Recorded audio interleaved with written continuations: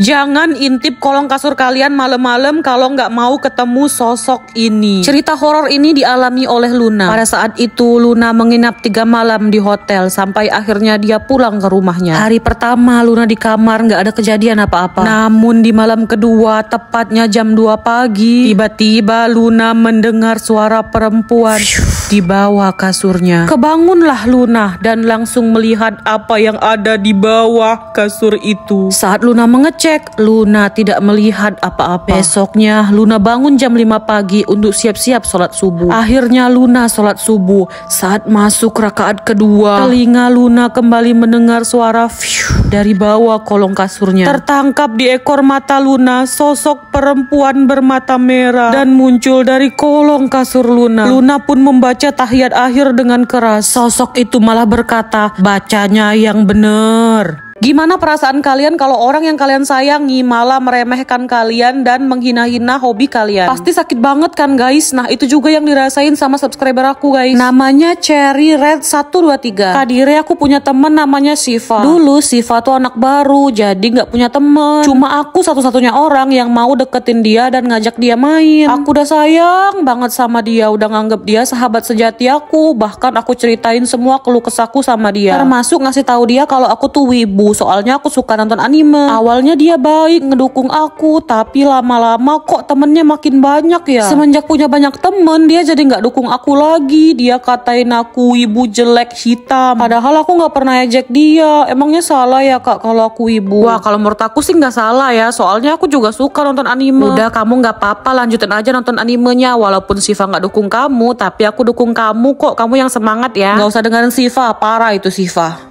Jangan main petak umpet maghrib-maghrib karena takutnya kalian main bareng hantu. Ini cerita dari subscriber aku namanya Nilam LDR. Kadire aku mau cerita. Jadi pas itu aku mau berangkat ke TPA jam 6 menjelang azan maghrib. Di situ aku udah kepancal azan maghrib kak. Terus aku ngerasa kayak ada yang ngikutin. Padahal pas aku lihat ke belakang nggak ada orang. Karena takut akhirnya aku lari ke tempat TPA. Sampai di TPA aku ketemu sama bestie aku namanya Titia dan juga Siva. Mereka ngajakin aku main petak umpet tapi aku nolak soalnya udah mau azan. Eh mereka ngancem kalau aku nggak mau ikut ikut mereka bakal teriakin nama keras aku. Di situ aku kepaksa gara-gara kelemahan aku kalau dibilang nama keras. Ya udah kita main petak umpet kan. Pas aku lagi ngumpet di kamar mandi eh ada yang gedor-gedor kamar mandi. Tapi pas aku buka nggak ada orang. Terus ada mbak-mbak pondok datengin aku dan bilang gini kamu main sama siapa nih Lam? Dari tadi kamu ngomong sendiri terus. Aku jawab aja aku main sama Siva sama Titia. Tapi mbaknya malah bilang dari tadi tuh aku sendirian terus dan ngomong-ngomong sendiri. Lah terus yang ngajakin main petak umpet tadi siapa dong Udah lama kan guys Kia nggak main diamond painting guys. Nah hari ini tuh Kia mau main diamond painting lagi guys. Nah ini dia guys tuh.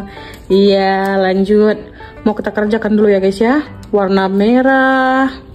Pelan-pelan. Satu persatu sampai selesai guys. Tuh Kia bentuk apa itu? Tuyung. Mermaid guys mermaid kecil imut. Tuh. Nah, kayaknya bentar lagi selesai nih hehehe. Semangat Kia.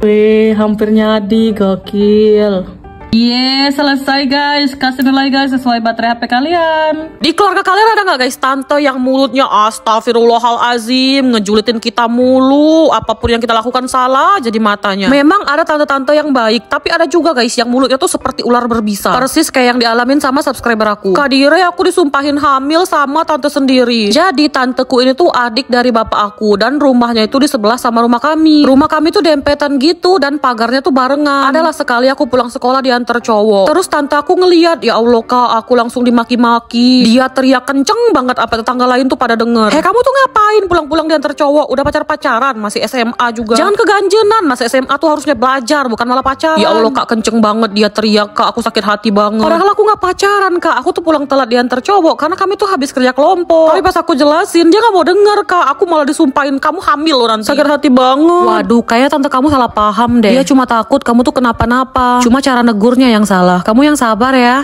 Apa kejadian paling memalukan yang pernah kalian alami guys? Aku yakin semalu-malunya kalian pasti lebih malu lagi mbak ini. Kita bacain ya curhatan dia. Guys, jadi tadi tuh aku habis first date sama crush yang aku kenal di Tinder. Nah habis makan bakso tuh kami. Terus dia nganterin aku pulang kan naik motor. Tapi dia tuh ngebut banget. Nah peniti kerudung aku tuh longgar. Akhirnya lepas dan kerudung aku terbang sampai tengah jalan.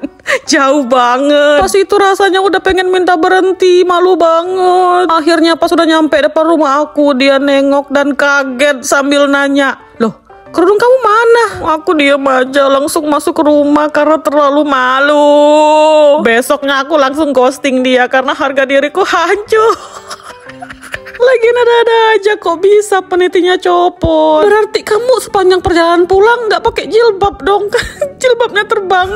Super sial banget. Mana first date lagi? Hal paling menyakitkan apa yang pernah kalian dengar selama kalian hidup di dunia ini? Aku pernah nggak diajak waktu kema pramuka terus dibilang kamu tuh nggak berguna. Aku pikir itu udah menyakitkan, tapi ternyata followers aku mengalami hal yang jauh lebih sakit. Kadire, aku ini anak dari istri kedua. Ibuku hamil di luar nikah dan yang menghamili itu punya istri. Dari kecil sampai sekarang, entah sudah berapa banyak kalimat menyakitkan yang aku dengar. Tapi yang paling menyakitkan adalah dikatain anak haram. Dari kecil itu aja yang diulang-ulang terus sama orang-orang sampai aku udah muak dan capek banget dengernya. Aku juga nggak mau di posisi ini. Emangnya aku bisa milih lahir dari rahim siapa? Tetangga bilang waktu aku masih dalam kandungan, ibu aku tuh sering banget nyoba buat gugurin aku. Tapi gagal terus karena katanya janinnya kuat. Dan janin itu udah tumbuh sampai sebesar sekarang. Sekarang aku udah nikah kak. Dan aku udah ikhlas, aku udah berdamai sama masa lalu. Aku cuma pengen didengar aja. Gila aku nangis sih, kamu hebat banget, kamu kuat.